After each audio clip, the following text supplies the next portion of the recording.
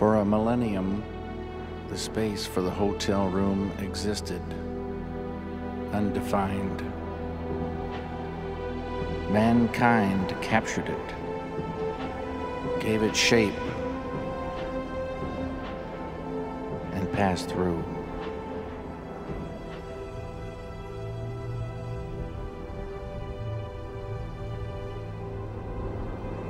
And sometimes, in passing through,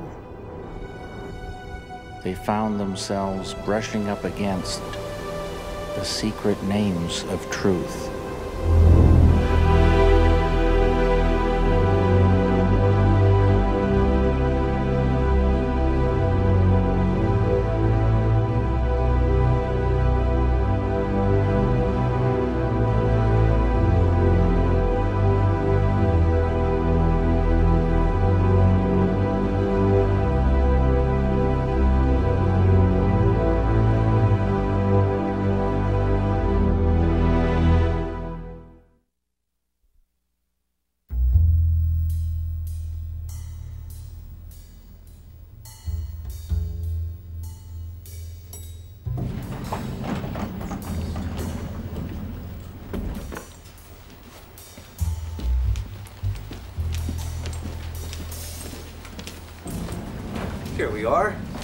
Room 603.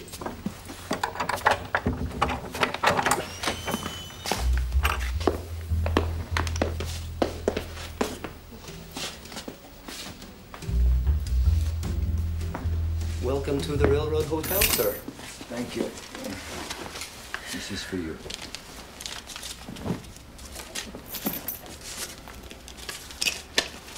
Anything else you need sent up, sir? Uh, no, uh, I don't think. Uh, Arlene, uh, do you want something? A drink? Darlene. My name is Darlene. Right, Darlene. Do You need anything? I got what I need. Uh, no, fella. I'll call down when you need anything. Enjoy yourself, sir.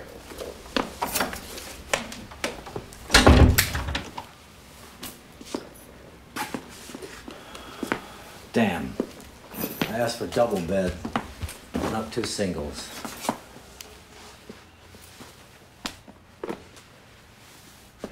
you need to use the bathroom?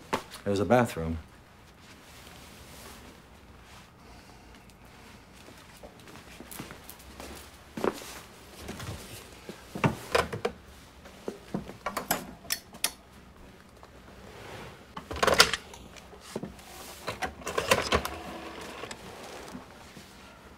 Room service? yeah, Mr. Boca in room, uh, wait a minute. Let's see, in 603. How about sending up a bottle of, uh, or a fifth Jim Beam bourbon? Yeah. Yeah, it's gotta be bourbon. There's a big difference. And a couple of chimneys chimney sized glasses. That's right. Okay. Okay. Um, Boca, yeah.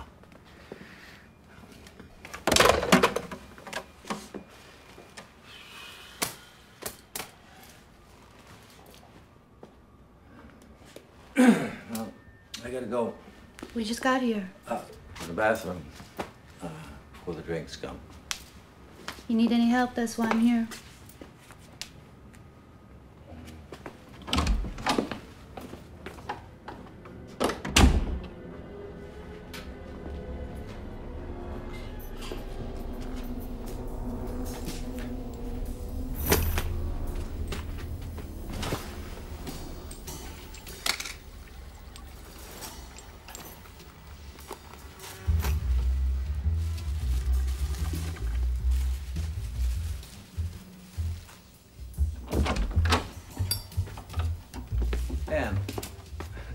Think it is? I don't know you, mister. How do I know what you think?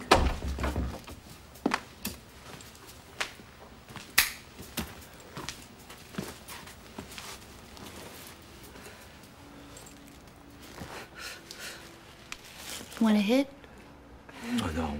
Uh, uh, I mean, uh, let me think about it. You think too much, man, is what I think.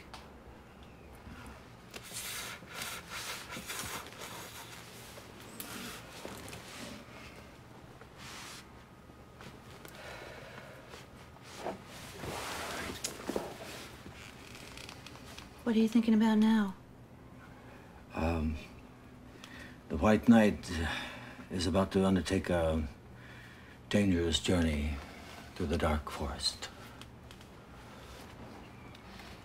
Far out. You're into fairy tales, huh?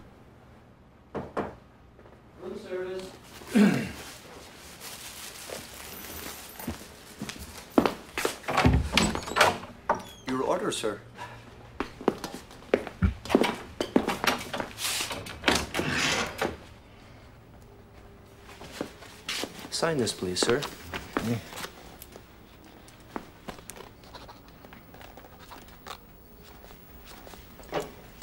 Mm.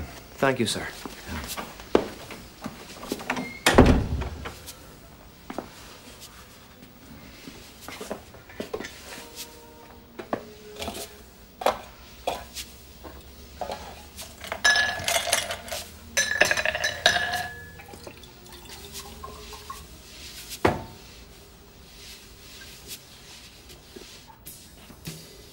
go ahead. I'm fine for now.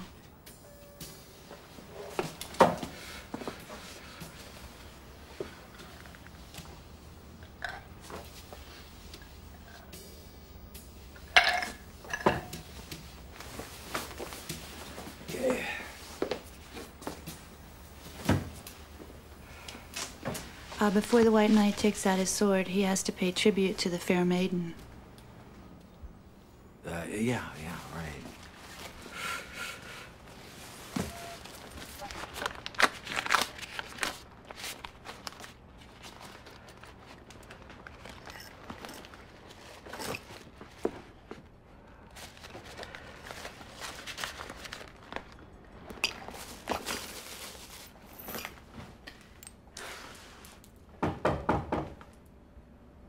Who is it? Lou, Lou? What's Lou doing here? Doing here now? Who's Lou?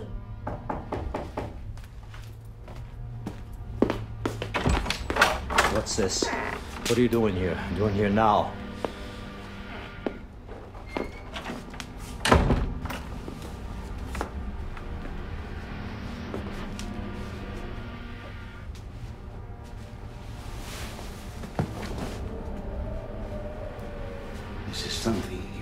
Here.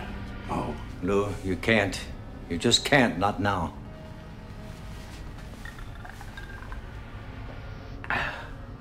did you pay her, Mo? Lou, don't. Answer me, Mo. Lou, Did you pay her yet? yes. I paid her.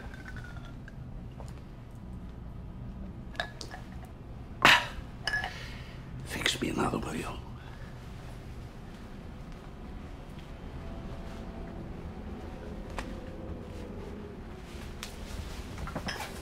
Sit, sweetheart. Sit. Next to Lou.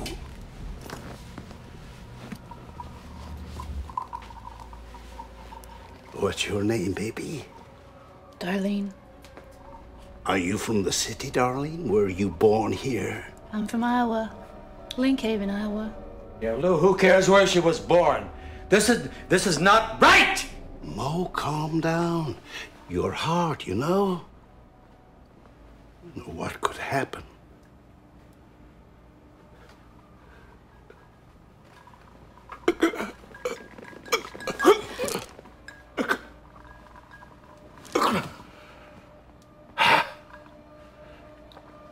I was in Iowa once. It must be 19, 20 years ago. Driving through with my late wife, Felicia.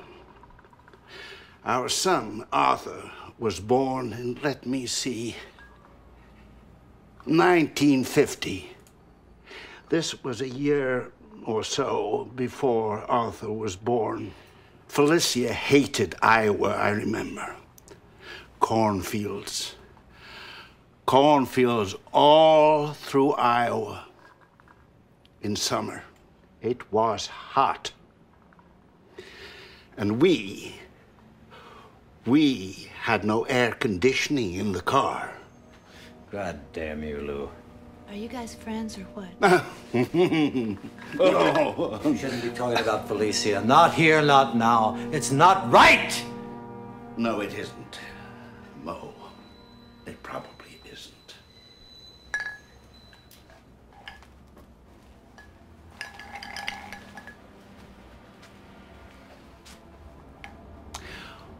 What should we be talking about, Mo?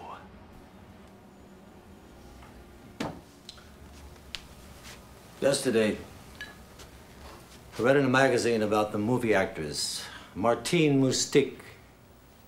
Do you know who she is, Lou? Martine Moustique. She died a couple of weeks ago, a month before her 30th birthday. Yeah, sure. Tall, skinny, broad, with good tits. Did you know that she and Felicia had the same birthday, Lou? The 15th? Did you know that?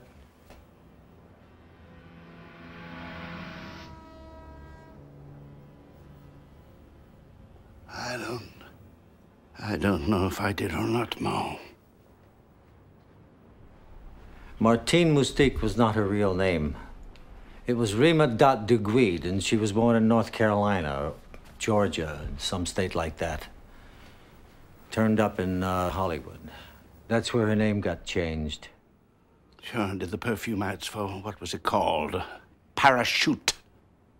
Paroxysme, Lou. That's French. Paroxysme. Yeah. Then she was found dead in the bathtub of her house in the Hollywood Hills. That's tragic, Mo. I saw Martine Moustique's last movie that came out after her death The Brave and the Beautiful. She played a Croatian lion tamer named the Great Vukovara. She learns that her lover has been killed just before she must stage a command performance for the Queen of England. But she goes on as scheduled, right? At the end of her act, she tossed aside her whip and chair and ordered the lions to attack her. As the big cats tore the great Vukovara apart, superimposed on the screen was a picture of Martine Moustique at her most beautiful. The way she looked in that ad for Paroxysme. Jesus. And you know what she said her biggest regret in life was? No, Mo. What? That she'd never gotten to be a, a high school cheerleader. Isn't that too much, Lou? I was a cheerleader in high school there, in Link Haven. That couldn't have been very long ago, Darlene. Do you remember how to do them? The cheers? Lou, I'm begging you. Darlene, honey, do one for us. Do one of them high school cheers. For us. You really want me to? Absolutely.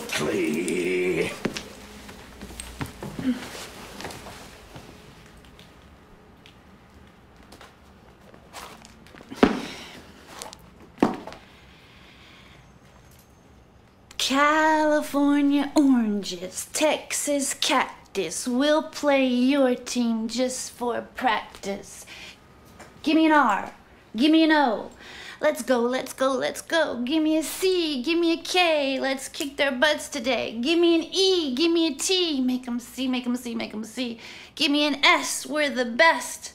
R O C K E T S, Rockets. Rockets, rockets, yay, rockets. Oh, shit, I'm pretty stoned. That was great, baby. Great.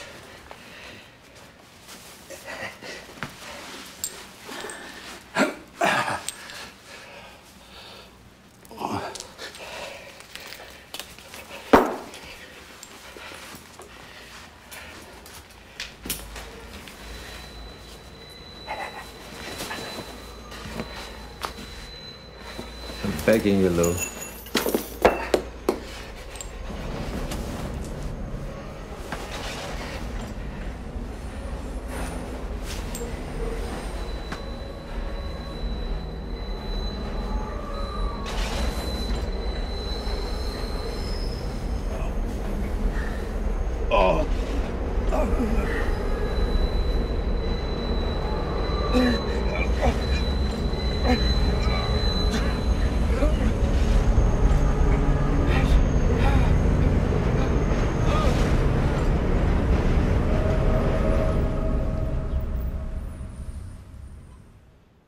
You're oh all right, baby. You really are.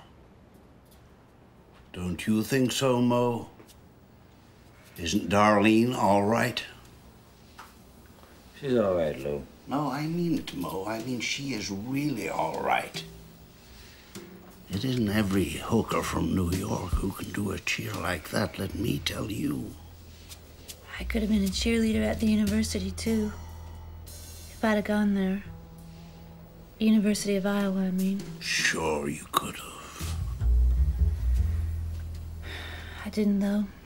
I got pregnant, so I stayed home and had the baby. And you left the kid with your mother. And you followed your boyfriend to New York. And he came to be an actor. And he was working as a bicycle messenger. He didn't want me, though. The bastard. So I tried to kill him. Stabbed him four times with a kitchen knife, but he lived. If you'd have had a gun, you'd have shot him. I would have blown his brains out.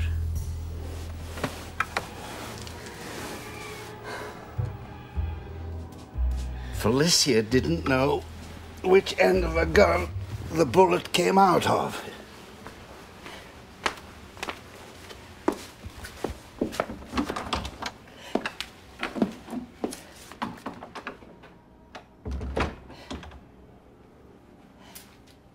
My things, will you?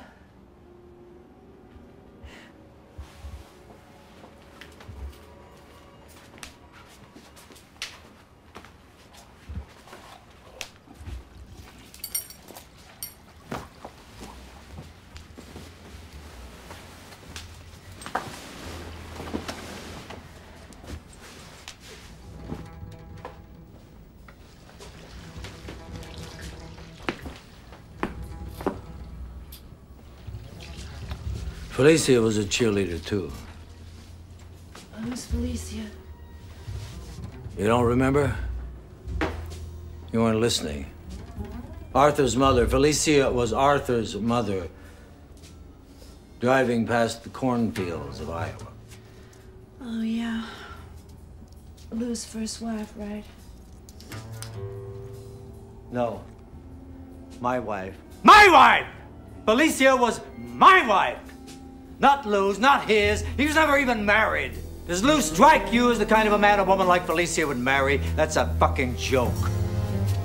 Felicia wouldn't even look twice at Lou. He knows that. I've had some strange chicks before, but you guys are weird. You got a game going that I ain't seen before. Game? What do you mean, game? Look, man, just let me get dressed and get out of here. I don't care what's behind it. Do you hear this, Lou? This bitch, this miserable little whore, thinks this is a game. That's what she called it, Lou. I swear it. Darlene, when you stabbed your boyfriend, the father of your child, you didn't intend to kill him, did you? His name! What was his name? Whose name? What the fuck are you guys talking about? Your boyfriend's name, Darlene. Was it Arthur? No. No, I got a split. I don't think, Darlene, I don't want you to leave yet. Maid, do you want your bed turned down for the evening? Call the cops! These guys are gonna hurt me! Damn it! Uh, don't worry, honey. Everything's all right. Nothing wrong. All right. Uh, here. Take this. We don't need the room fixing. Everything's fine. You want the bedtime mints?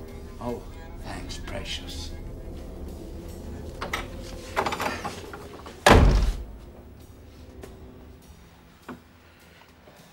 Just close, Mo.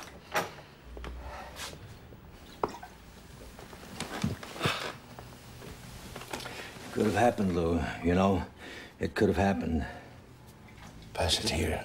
Mo, pass the bottle.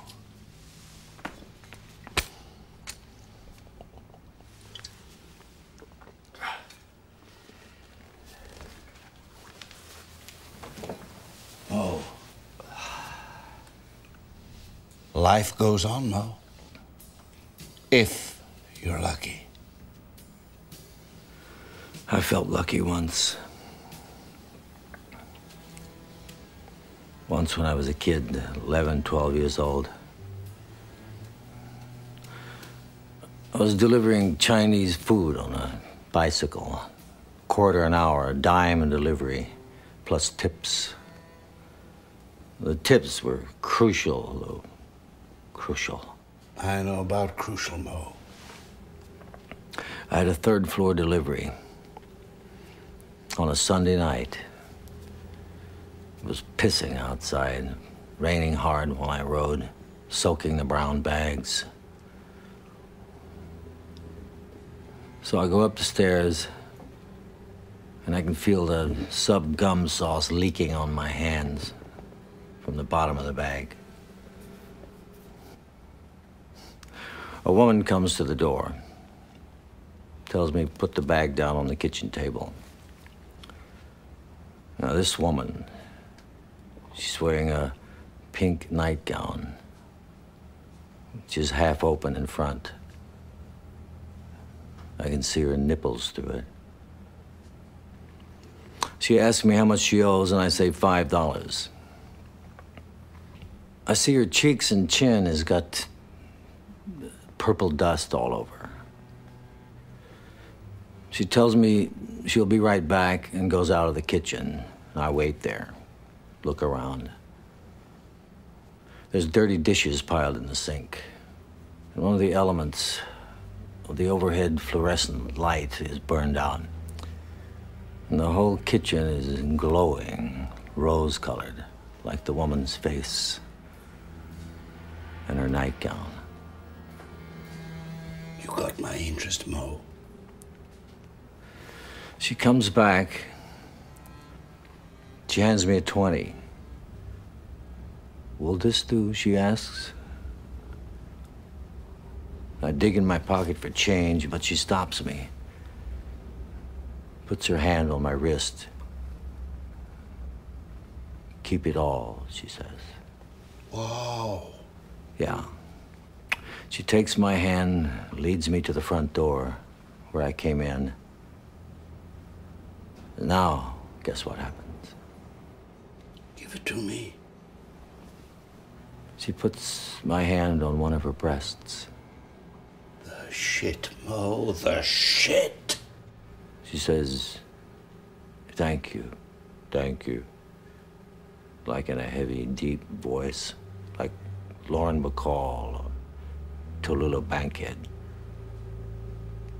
She looked like Tallulah Bankhead, except for her hair, which was more like Lauren Bacall's. What did you do?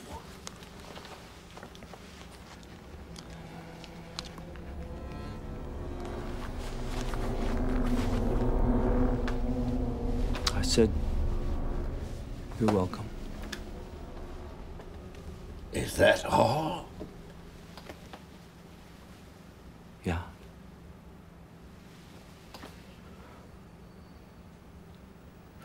She opened the door, and I went out down the stairs. It was still raining, you know. But I stood out there under a Dutch elm tree where I'd left my bike. Stood in the rain for a few seconds, put my hand in my pocket, felt to see the $20 bill was there. And I remember thinking, if, if I could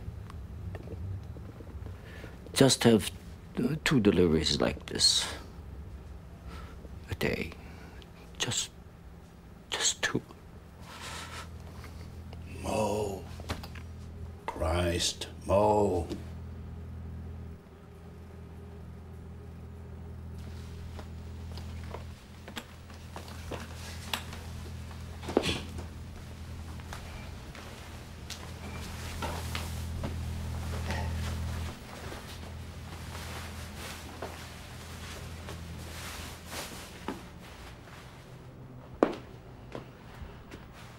I'm going now, Mo.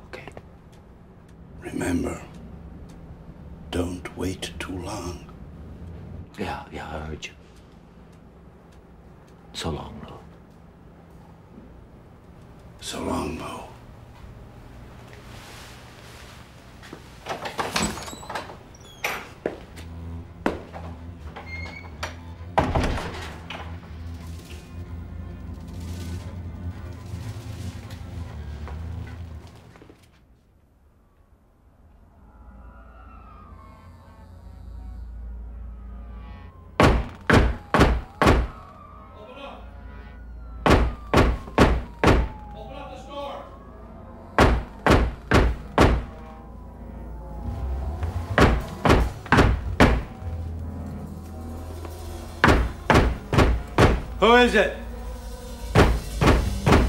Who is it?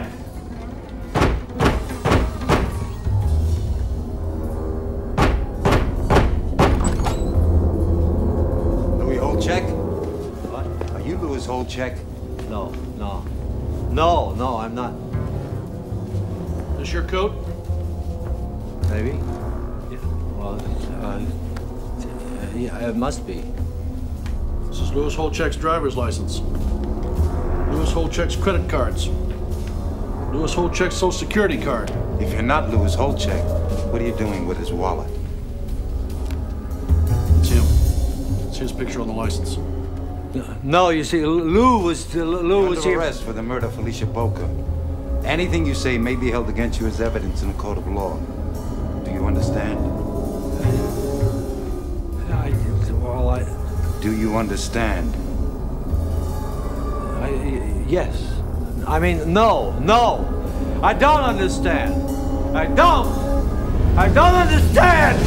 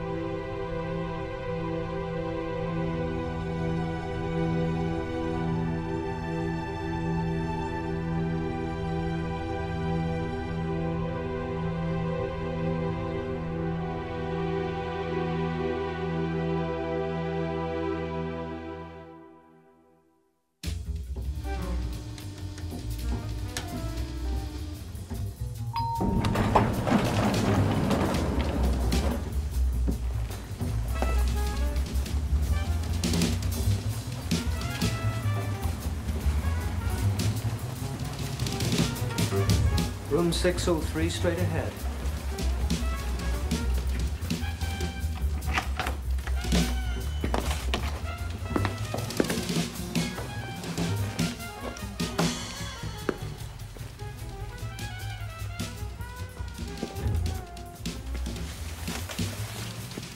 You'll have a lovely view of the station from here.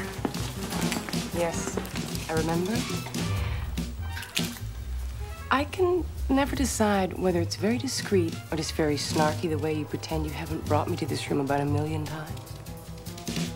Either way, I won't be back. If I can be of any assistance, please ring for me.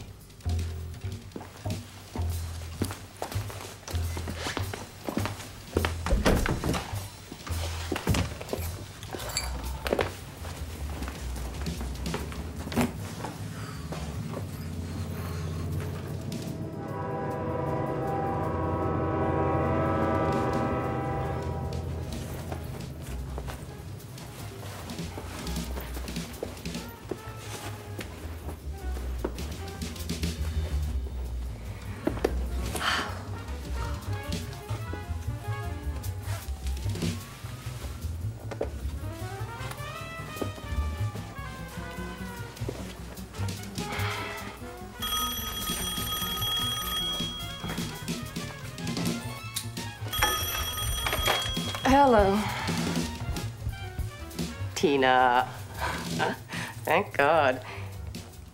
No, I haven't. Well, he's not due for an hour and a half. You downstairs? Well, absolutely. Come up.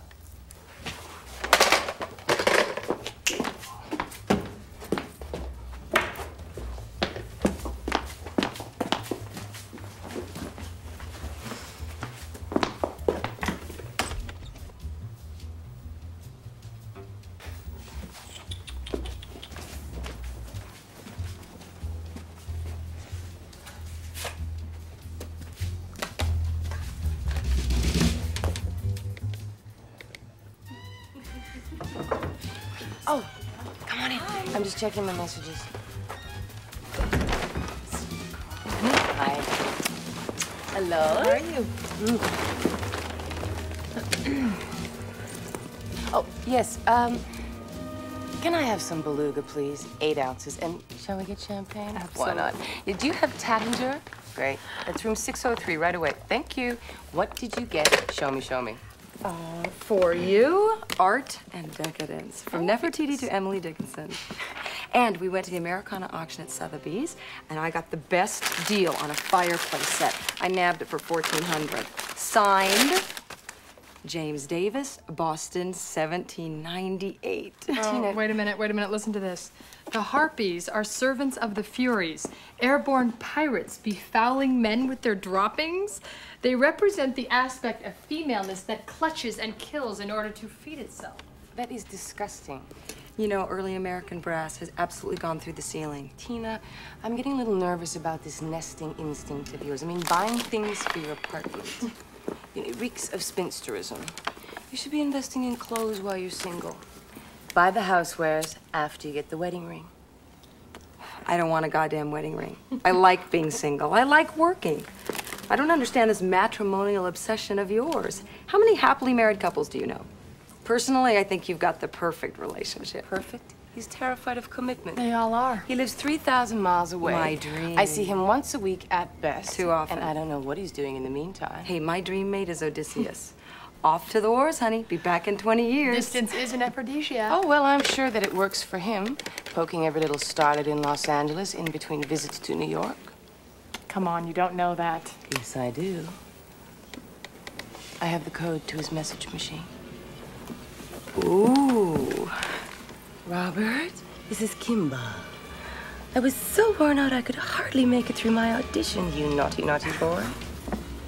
So what are you gonna do about this? I don't know. Come in. I'm gonna tell him this is obviously going nowhere, and I don't think he's gonna marry me, and I'm sick of being a goddamn bi-coastal concubine, for Christ's sake. Can you put that over there? You're actually going to say the M word?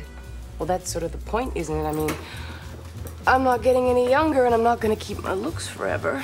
Plus, my alimony runs out in two years. Go ahead and laugh. You're not gonna keep your looks forever. You better find a husband while you still can. Hmm. You know, children would be nice. Excuse me? You almost killed me. You did that on purpose, didn't you? You know, I don't have to deal with this. I'm gonna talk to the manager. It's all right. It's all right. Don't be ridiculous. Thank you. Hello? Hello, I'd like to speak to the manager, please. What do you mean he's not? No, you can tell him to come to room 603 immediately. Thank you. Save your energy for Robert, darling. Come on, let's rehearse this thing. Okay? Dry run. Now, I'm Robert. I've just walked in. I take you in my arms. I kiss you, right? Presumably he kisses you, n'est-ce pas? Mm, wait. That's it. That's the problem. It's like sometimes Robert is sticking his tongue down my throat and I want to say, please. I mean, Kissing is so intimate, you know, and it's like, especially if you're not really in love with the guy, you sometimes feel like saying, all right, fine, go ahead, go on, do your thing, but do not drool all over my face and suck my tonsils out in the process. Really, you're wondering how soon can I get this guy out of my apartment so I can catch Arsenio? Oh, sex can be such a bore. Someday you're gonna call us up raving about this incredible new sensation that you've discovered, and we're gonna say, now you know what we've been talking about all this time.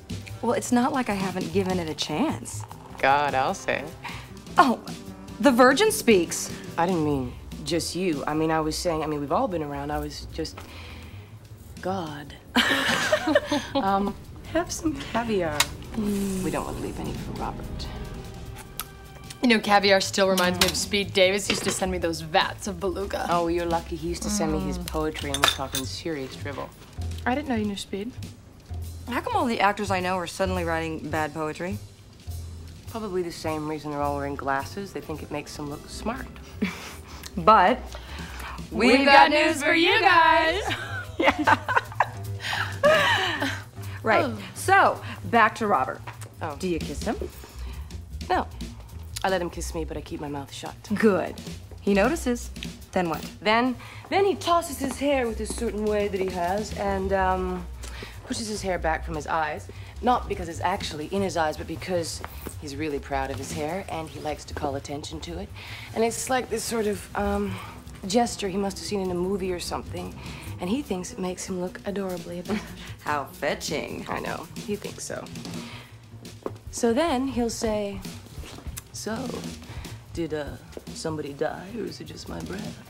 And you'll say? I'll say, Robert, it's the fact that you can come up with a line like that that makes me realize I just can't go on with this anymore. Come on, girls, really, we've got to do this right.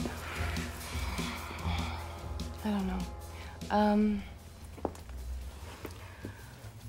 I'm just gonna tell him that we fight too much, and I don't think he loves me. I know he's not ready to make a commitment, and I'm tired of waiting. Do you love him?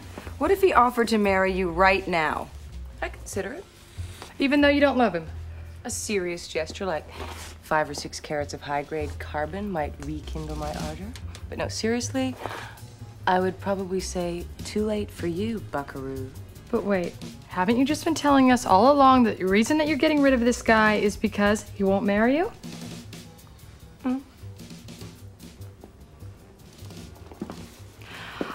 Get it. There's someone else, isn't there? All right. Who is it? Well, let's just say that you'll both be very welcome to visit us in Southampton or Aspen or um, Houston. Well, Houston certainly narrows it down. Well, they're the Bass brothers, but aren't they spoken for? No, they're Dallas, not Houston. Well, there's Toby Trout, but isn't he gay? He's gay. Give.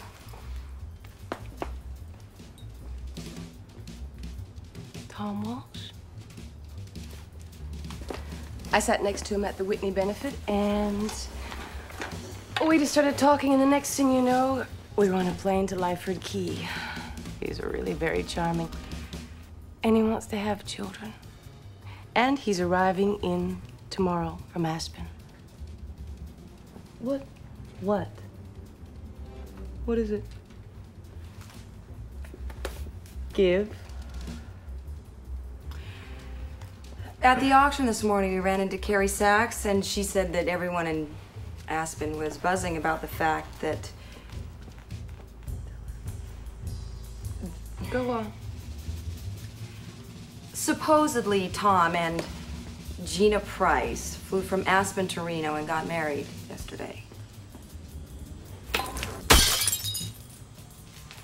Honey. Honey. He was telling me last week. He was he was telling me last week that he wanted me to have his children. Gee, honey, I'm sorry. He was gonna he was gonna take me to Houston to see his mother. And um, we were gonna get married at Round Hill. Well, obviously he was in a marrying mode. Gina Price is already rich.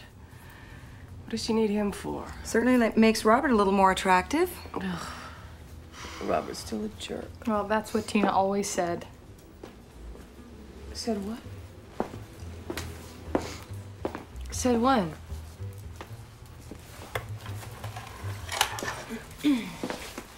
Are, um, are we talking about Robert? My Robert. It was years ago, before you knew him. I didn't know you knew Robert. I sat there and introduced you over lunch at Primavera, and uh, you just pretended like you'd never laid eyes on each other. I didn't want. I just didn't think that there was any point. I don't believe this. It was nothing. Virtually only, well, hardly more than a one night stand. Years before you knew him, I didn't think it was a big deal. Well, obviously to you, it, it wasn't. Oh, that's probably the goddamn manager. Can you get the door, please? Sure.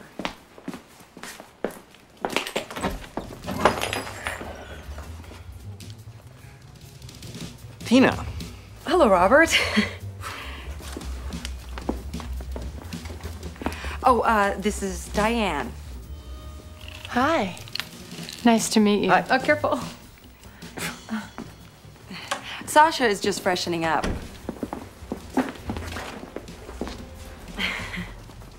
Sorry about that night in Santa Fe. Oh, wait a minute. I, I was just going to apologize. No, I shouldn't have left without you.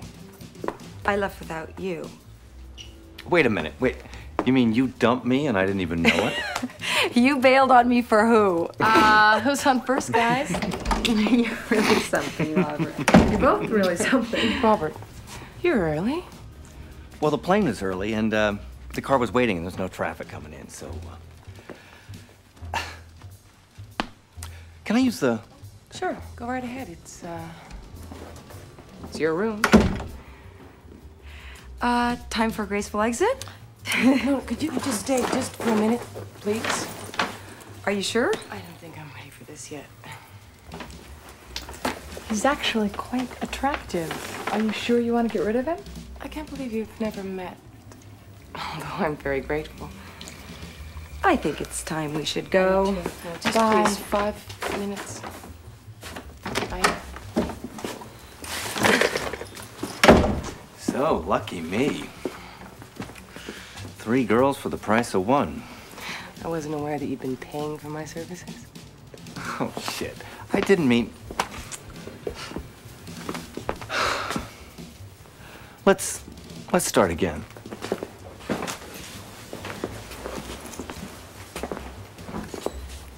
Did I tell you about the hair? It's nice hair, though. Tina! Robert! What a surprise. Great to see you. Sasha.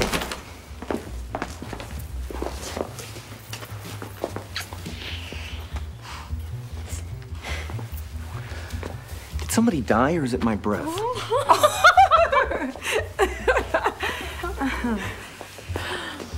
You don't smoke. Since when do you smoke? I smoke sometimes when I'm in the mood. What mood might that be? It's a little chilly in here. Do we leave a window open? You know, I think it's time for Tina and Diane to leave. No, they can stay for one glass of champagne. Robert? Uh, yeah, could you sign up another bottle of champagne? Robert? Make it a magnum. Yeah, thank you. Right away, please. We need to talk, Robert. We'll talk over a glass of champagne. And vino veritas.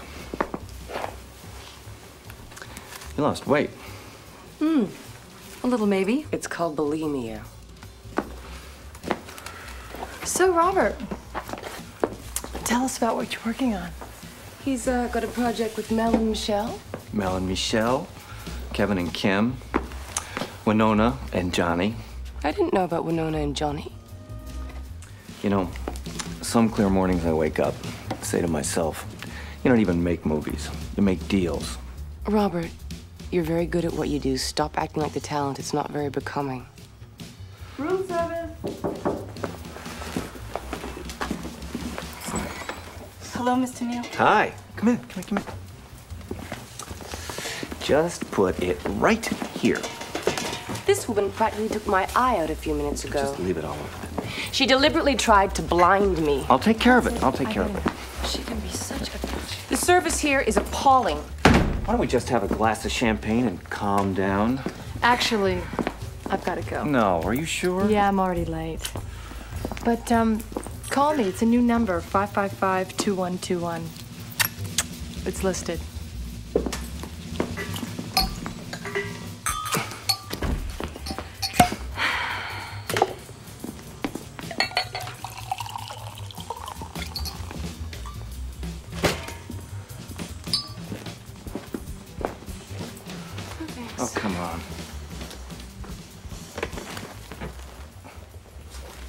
I collect early American brass. Absolutely gone through the Could roof. we maybe Robert. Did you find know a that- topic we could all get interested in?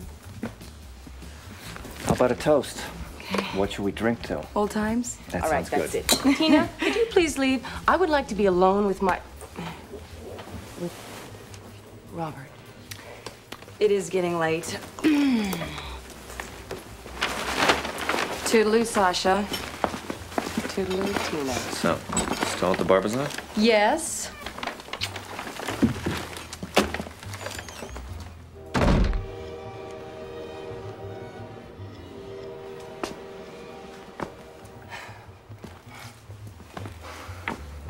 Oh, we're finally alone. Sasha, there's something I want to say. I do care about you, but we seem to fight all the time. And I don't think I'm ready to make a commitment. And I know you must be tired of waiting, so I think it's probably best if we stop seeing each other.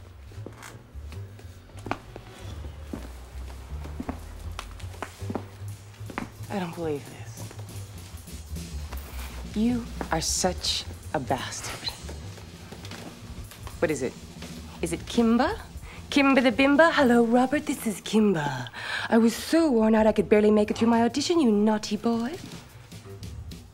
I'm leaving. What about the trip to St. Bart's? Oh, keep the tickets. Take anyone you want. After all this time, I think I deserve an explanation. This is pointless. What is it? Is it my tits? Are my tits too small? What is it? Well, I'll tell you one thing. They're real. 100% me, 100% organic, which is a hell of a lot more than you can say for most of your 19 year old starlets. They're very nice. What is it? Is it sex? What is it? Tell me you don't like the way I fuck. If you if That's you want me it. to do something differently, I'll do it. That's not it. I'll do it. What is it? I'll change it. What is it? Am I too old? That's not it. That's it, isn't it? That's it. You just want to be Peter Pan, sticking your little wand into the pubescent fountain of eternal youth. Okay. You want to know why? You really want to know why? I'll tell you. Tell me. You're not a nice person. You're a bitch. You got it? You want me to spell it out for you? You're not nice. You're a bitch. B as in as in bad. I as in egomaniac. T as in terrorist. And C as in c-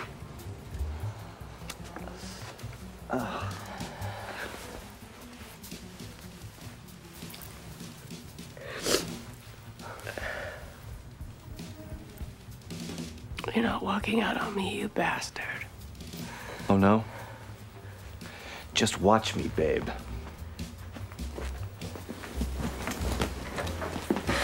Oh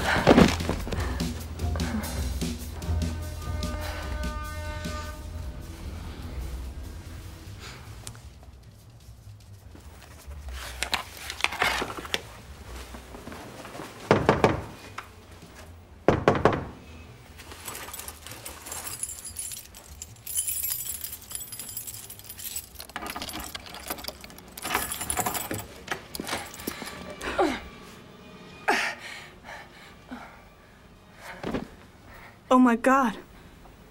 What have you done? You know what he called me? A cunt? Well, no. But he was going to.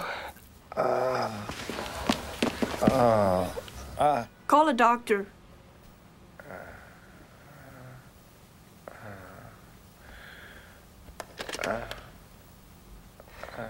Could somebody send a doctor to room um 603, please?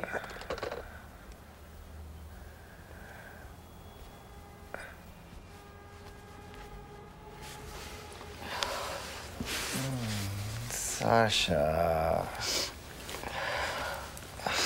You really hurt me, Robert. I hurt you? Words can really hurt a person. Words. You said I wasn't nice. How can you say that I'm not a nice person? That was so incredibly cruel. Sometimes you can be so callous. And you're about to use the C word. You know how I feel about that word. Hey, if I said anything that hurt your feelings, I'm sorry. I don't want to fight anymore. Me neither. Do you mind? We're having a private conversation. I'll go for help. No, no, no, no. No. Wait. Would you just leave? Thank you. Oh, oh you poor. Uh, Karen. God. Oh God, do we have any? Do we have any Tylenol? What time is it? What time is your screening?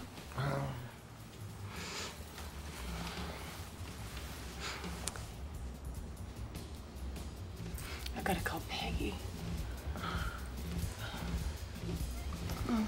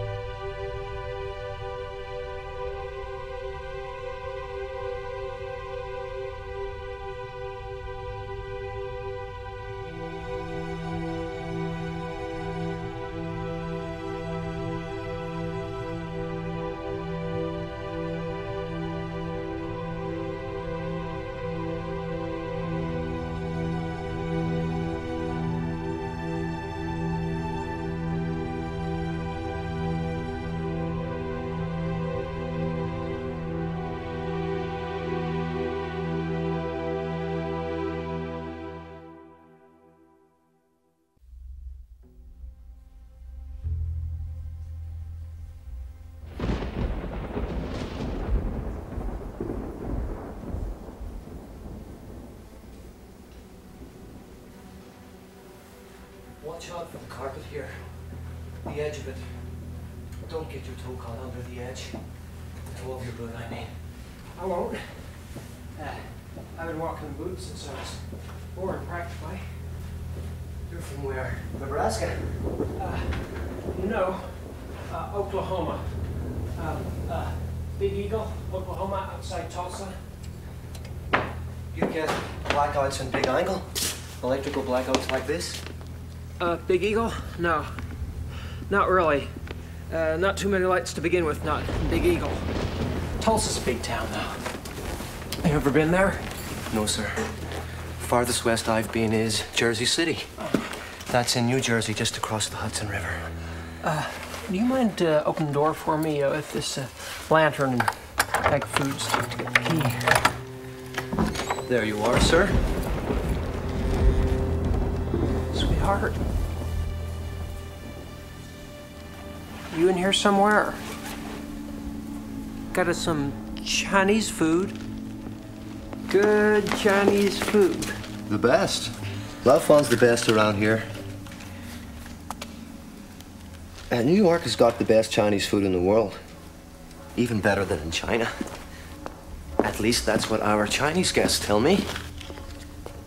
I was never actually in China myself, but I guess the Chinese should know.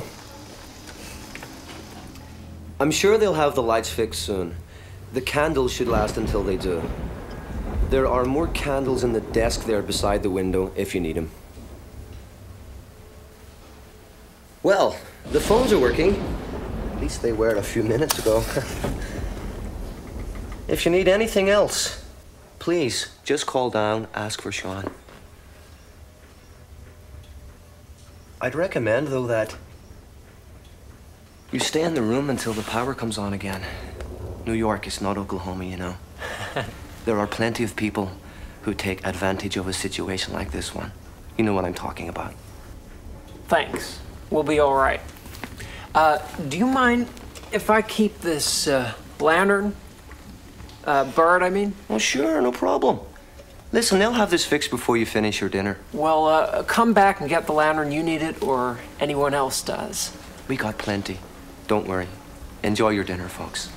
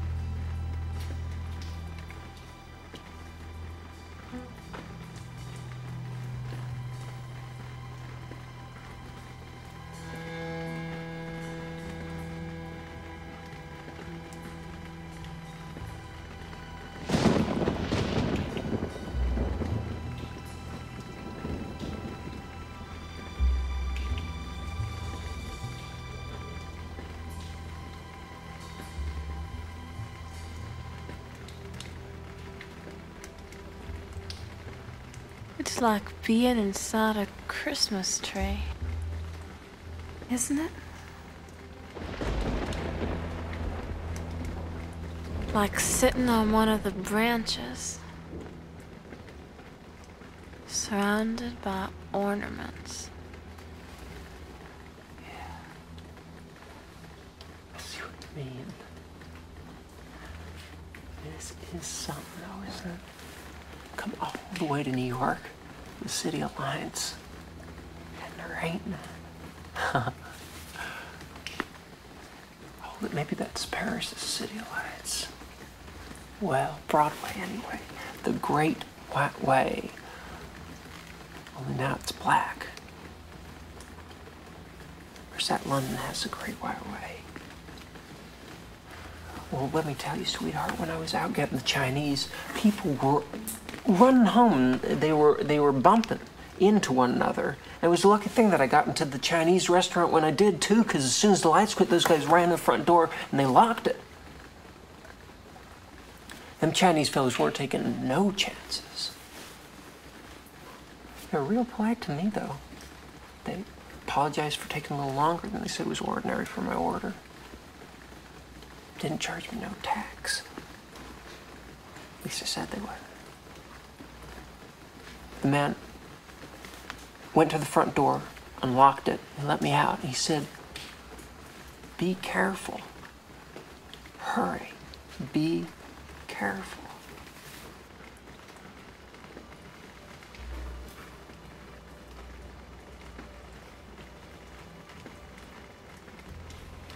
Danny.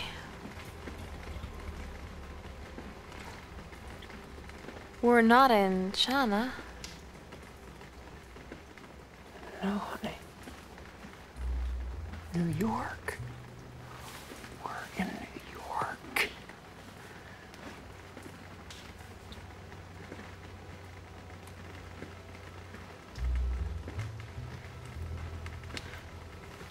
Why did you speak Chinese to that man?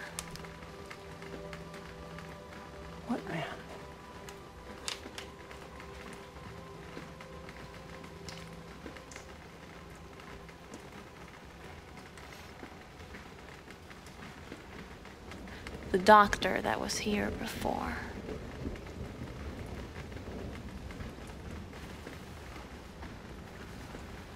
That was the bellboy. We're seeing the doctor tomorrow. Remember?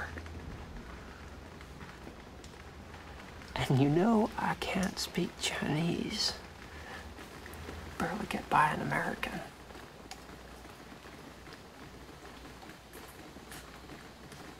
Don't be so modest. You know Spanish too? Yeah. Just about mm, 25 words, maybe like uh, huevos rancheros and uh, buena suerte. Si todo sigue igual. What's that? What's that mean?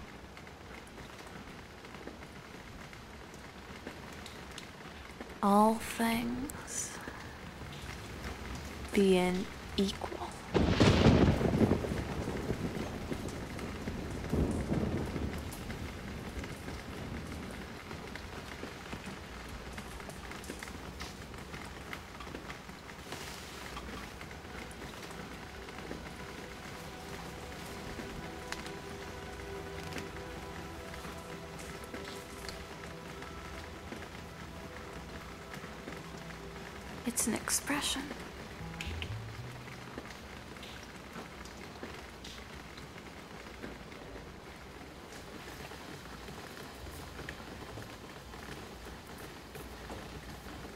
You know what an expression is, Danny.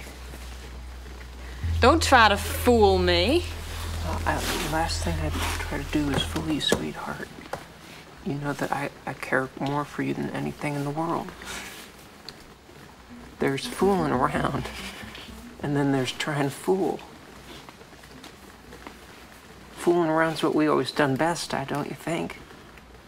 You still like to fool around with your old daddy, don't you? Even after all these years.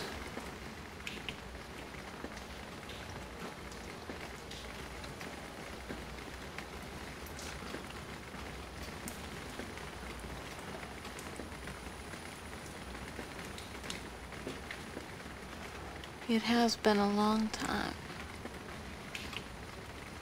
Hasn't it, Danny? Almost 17 years.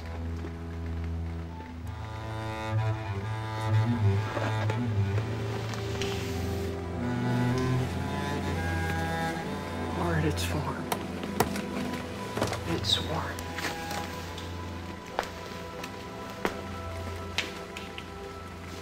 Not in the dark. But I could sure use some air cooling.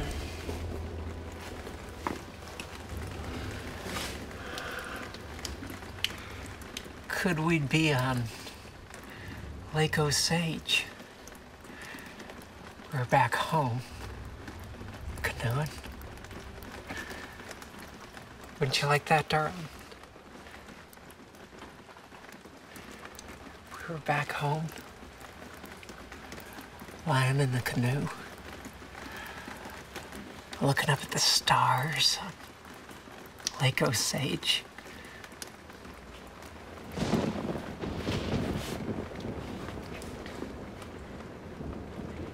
It a Chinese doctor? The one I'm seeing tomorrow. He's Chinese.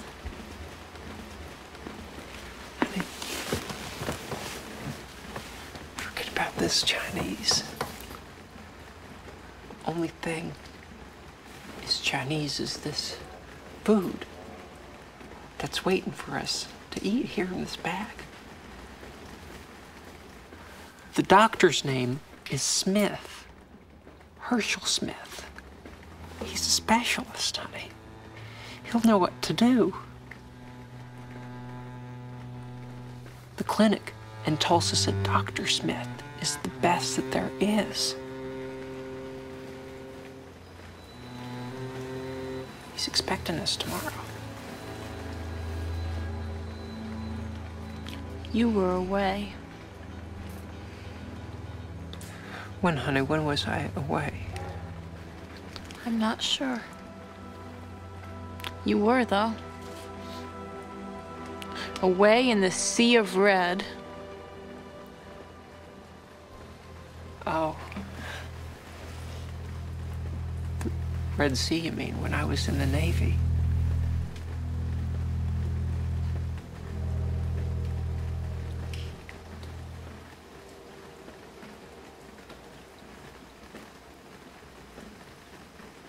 Oh, of course. When you said Lake Osage, I thought of it.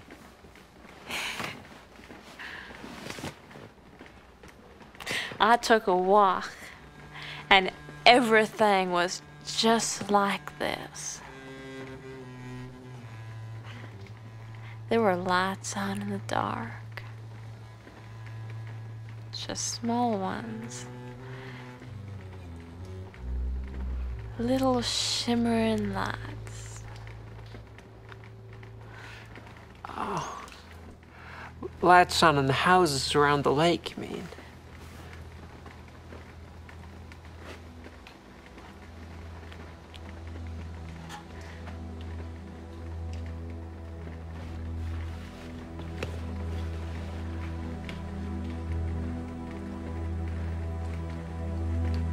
I saw you on the other side. And I shouted, Daddy! Daddy! But it wasn't you. It wasn't you.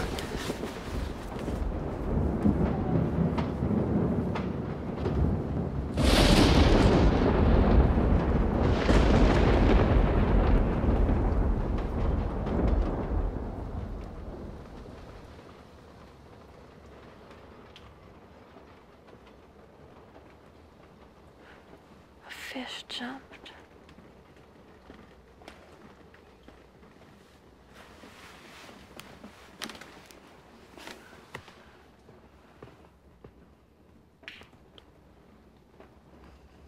What kind of fish? Chinese fish. How could you tell it was Chinese?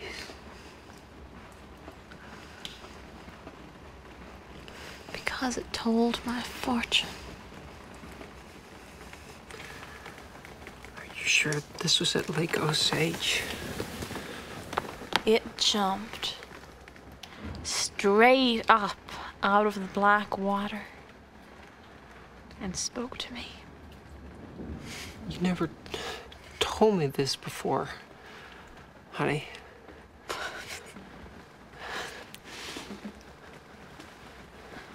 I just thought you'd think I was crazier than I already am. I don't think you're crazy. I don't know what to call it, but it's not crazy. Maybe Dr. Smith has a name for it. A fish, by any other name, is still a fish. Even if it's Chinese? Definitely. If it's Chinese. Well, so what this fish tell you?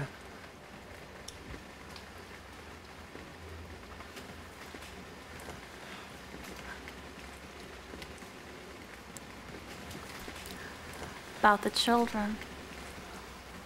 What about them? All about them.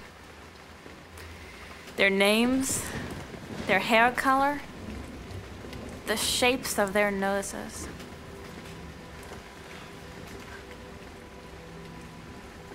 What children died? Ours. Yours and mine, Danny. All of them. How many?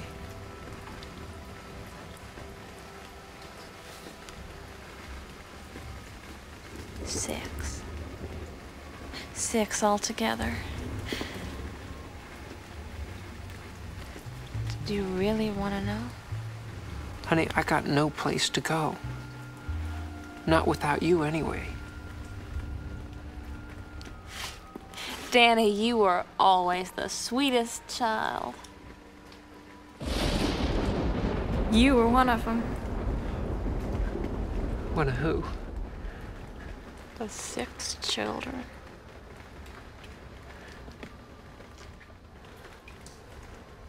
You were first. The largest. With red hair and blue eyes. The rest were girls. Five perfect girls. Each one of them had brown hair and brown eyes and brown skin. They looked like fawns. Danny, these are our children! Don't you recognize them? I love you, Di. I, I, I've loved you since I was five and you were three. 17 years, and I love you more than ever.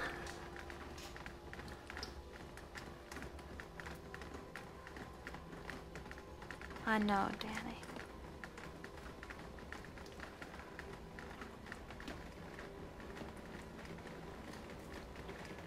You did have a child.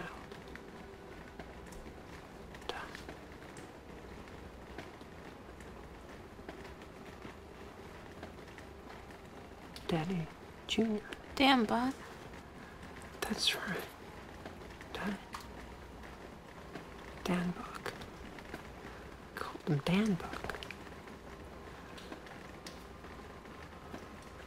You remember what happened to Dan Buck?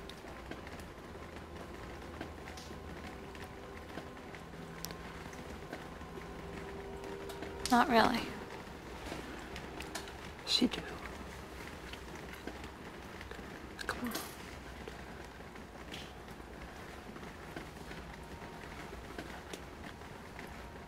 He was two. Two years old. How old is he now?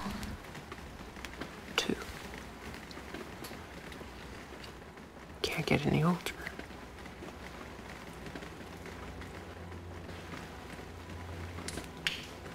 Might have gone in the Navy, Danny. Like you did. Might have. I wouldn't have wanted him to go sailing in the Sea of Red. Sailors don't come back from there sometimes. I came back. I'm here. Dan Bug's not. Dan Bug's gone, baby. He drowned in the Sea of Red. He drowned in Lake Osage.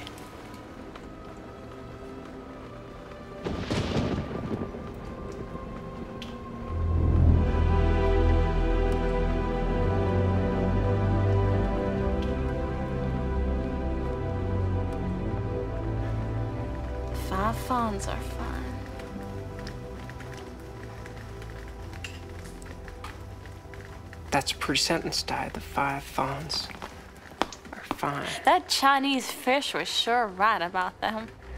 I'm sure he ain't half wrong most of the time. It hasn't been that long. No.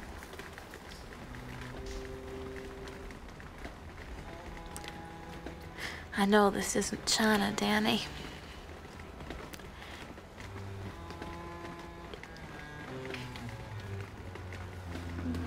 I, I think I'd like to go sometime. Well, that's not impossible.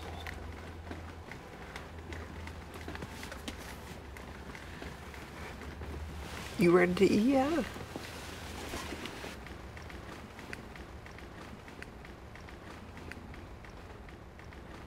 Remember Rinky Dink, Dan? What happened to him? Yeah, I, I do. Woman who was driving never looked in her side view, she said. Mm-hmm. Just the rear view mirror. knocked him sideways off his motor bicycle into the road, right in the path of oncoming traffic. Patrolman said Rinky Dink's head hit the ground just an instant before that Buick run over his back. He was an okay boy. Okay. He had a three inch scar that ran across his forehead that filled with red whenever he laughed or was angry. Remember? The car that crushed him didn't leave a mark. There was only a light bruise on his forehead that would never heal. When Bonnie saw him in the coffin, she said, Why, he looks cuter now than ever. Yeah. When uh, I got out of the Navy for uh,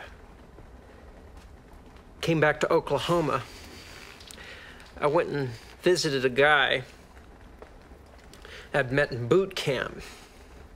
We'd kept a correspondence going.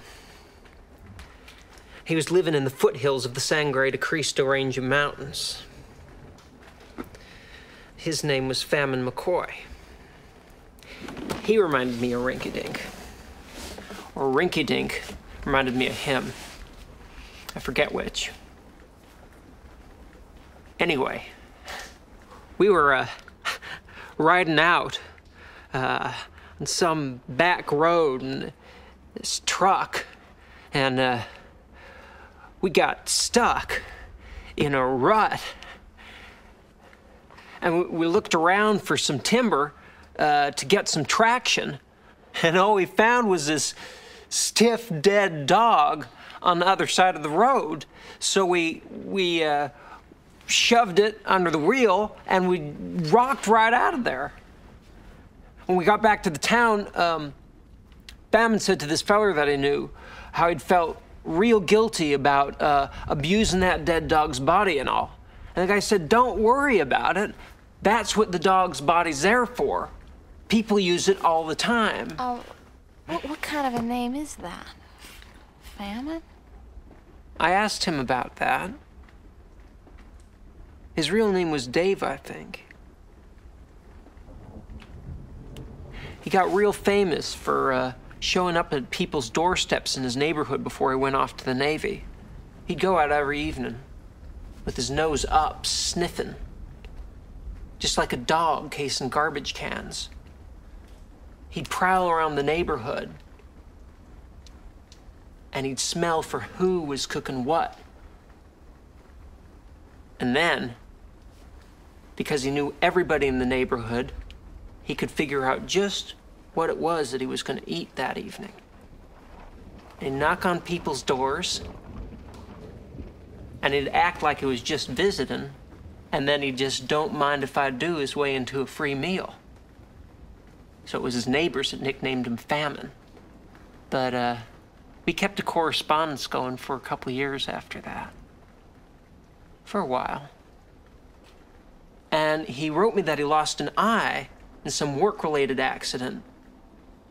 And he moved down to Florida, got himself a wife, a kid, and then she wrote me that he had died. And it seems that he was out in the palmettos and he felt this sharp jab and he looked around to see what had happened, but uh, he couldn't find anything, so he. Uh, he forgot about it. He went home, and that night he started feeling real strange. And he he acted sick. So his wife took him to the hospital. They couldn't find anything wrong with him. They left him to go home, and two hours later he was dead. Uh, it seems a snake bit him, and if they had just known about that jab, if he told them what it was, they could have saved him, but he didn't tell them. It didn't occur to Fem until just a little while before he faded away that it wasn't just a palmetto leaf that had stuck him.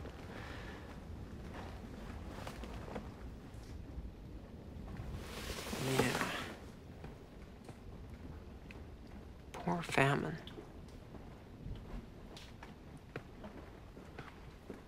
It makes me hungry sometimes to think about him.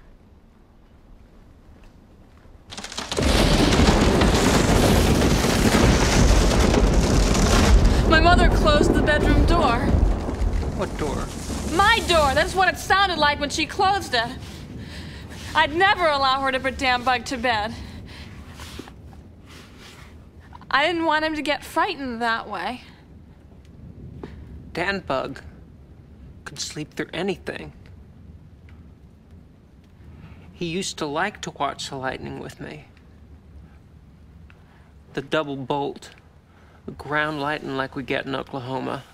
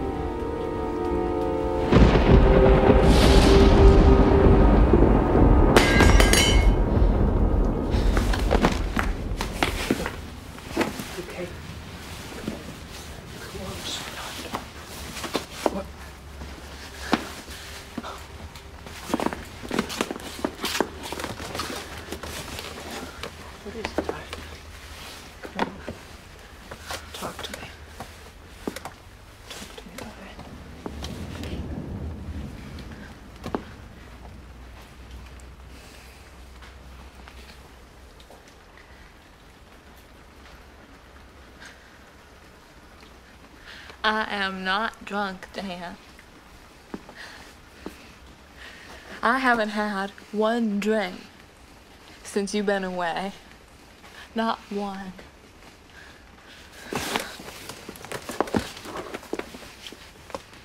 It was Bonnie who made me, wanted me to go out, but I just watched him. I had cranberry juice and soda water, that's all. We were at the Cherokee, and there was a good band there. Played a lot of old stuff. Made me cry because you were away. I was sitting on the toilet after I peed, crying because I missed you. And Bonnie was in there with Rinky Dink drinking. Now, they offered me some, but you know me and drinks is not on friendly terms, so I declined. All it took was that woman's small miscalculation. And Rink was dust. I wasn't anywhere, Di. I wasn't away. Oh, yes, you were. You were, too. You were off sailing in the sea of red. Do you know how it hurts your eyes to stare at the horizon? If you stare at the horizon long enough, all you can see is fire. The entire line of the horizon is burning. fires as far as the eyes can see.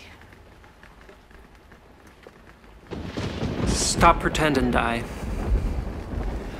I am here. I wasn't anywhere. I am here.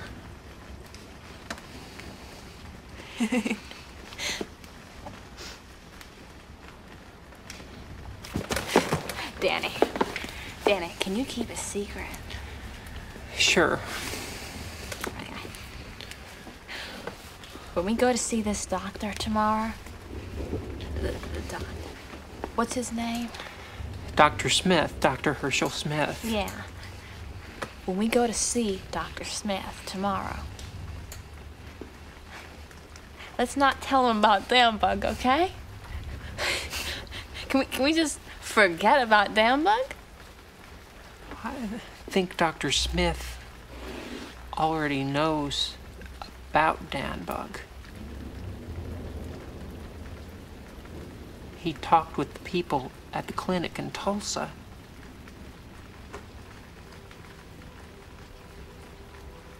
They sent him your medical records. That's how come he agreed to see you. I already told you that, honey. I told you that before we left home.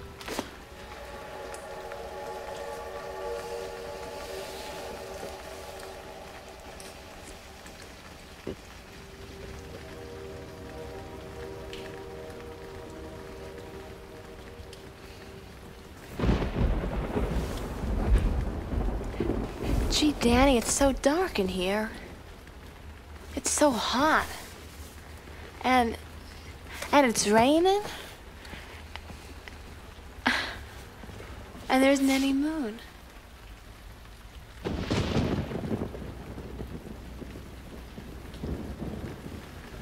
It's kind of beautiful though, the dark. Don't you think, Danny? I could get used to this.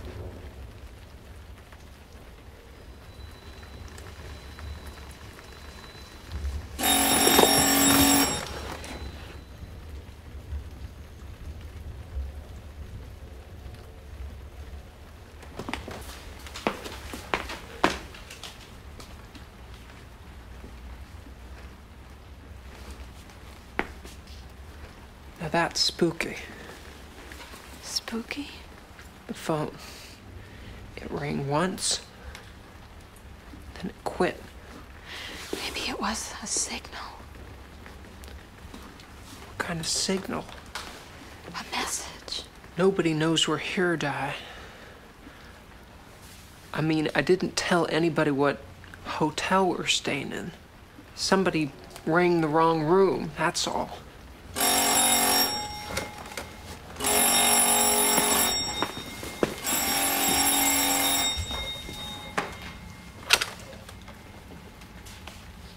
Hello?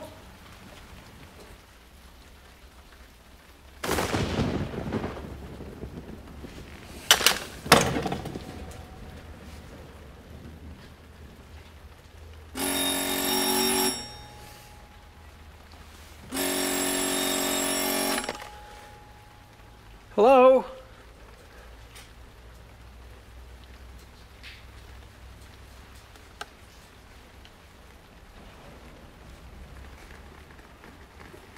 Who is it? He for you.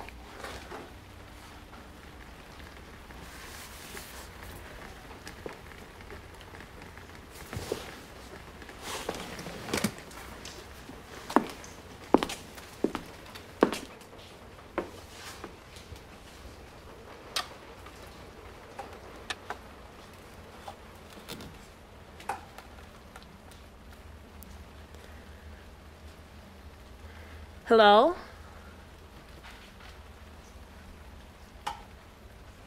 Yes, yes, it is. Oh, thank you. Yes, it is dark in here. It's very, very dark in here. We have candles, though. Mm-hmm.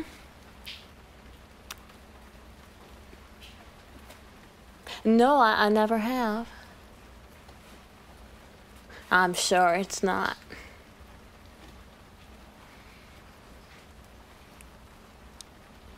Yes, yes, Danny went out and got us some Chinese food. You're very kind. yes. Well, I hope so.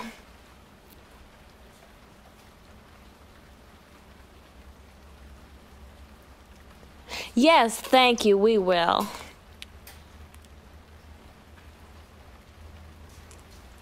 Bye.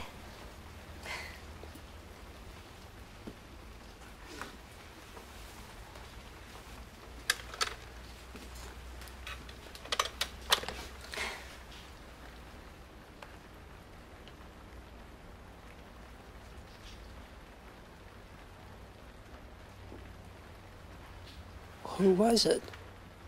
Dr. Smith. He was very sweet. The clinic must have told him where we were staying. Well, what'd he say? Oh, he he just wanted to make sure we were okay during the blackout. He, he just wanted to make sure we were comfortable and had food. And That must have been him the first time, too. Line was messed up. I could hear someone talking, but uh, connection was bad, full of static. he just wanted to assure me, he said, that he was looking forward to our visit tomorrow. He has a nice voice, Danny. He has a good voice. I'm glad. I couldn't live without you, Danny. I, I really couldn't.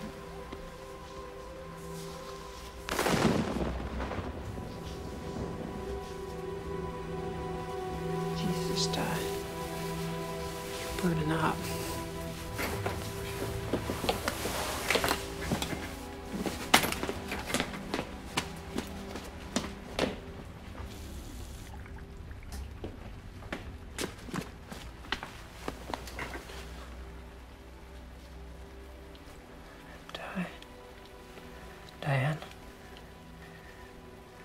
Danny. I didn't tell you everything about the fawns. The fawns? You know the five fawns. What about them, honey? They have names. Did you name them? Of course I did, Danny. Don't pretend you don't know. I didn't pretend. I. What did you call them?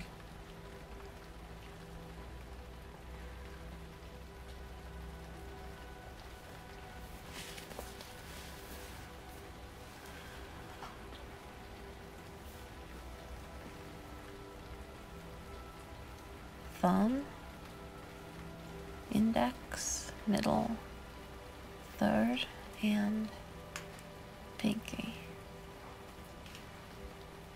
Pinky's my favorite.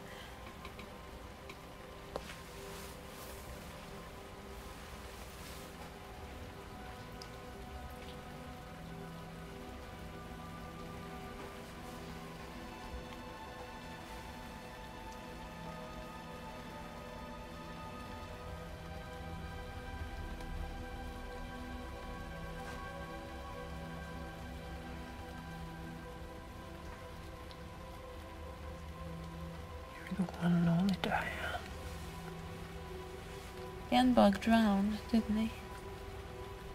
Yes, honey, he did. Do you recall how it happened? You and me was in an intimate way. Down on the shore at Lake Osage. We thought the boy was asleep. But he got up, went into the water without making any sound we could hear. By the time we found him, he was gone.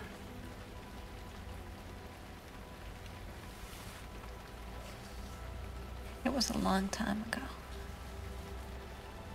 Two years. Not so long.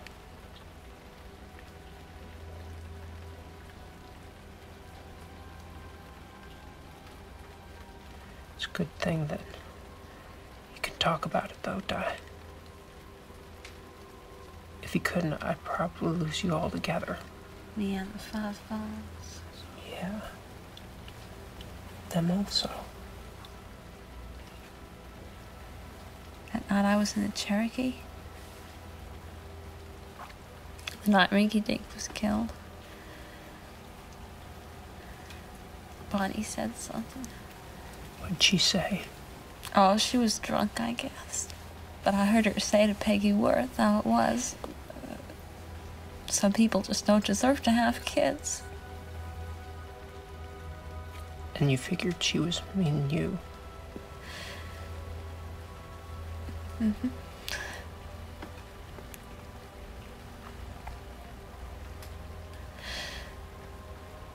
I didn't take it to heart right away. But then after it turned out I couldn't get pregnant again, I started in on it meaning something. There was no way I could get it out of my head. It, it just stuck in my brain like a knife.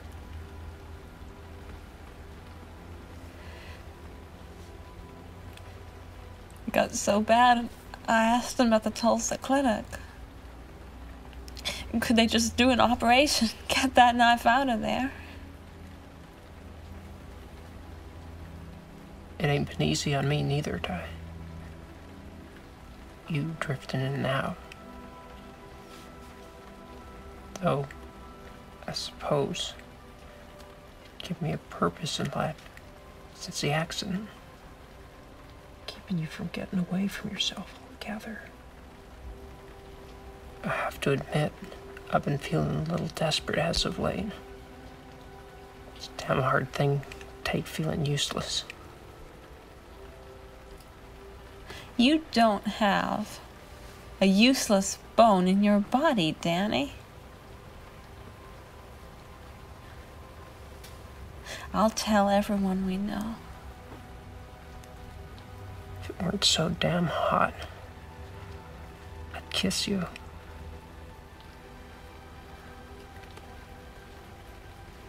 Kiss me anyway.